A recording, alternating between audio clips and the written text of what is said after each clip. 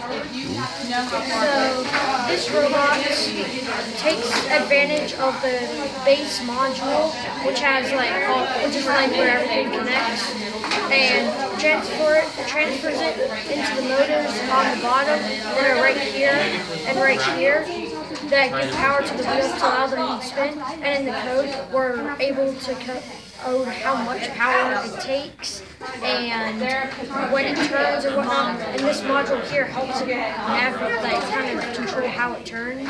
So it's actually not too too complicated, but where most of the heart of it lays is in the code. So if I run it here.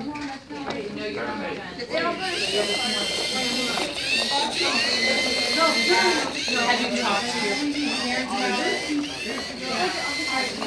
parents? That's what we really need to do, like them, because we have to be paying.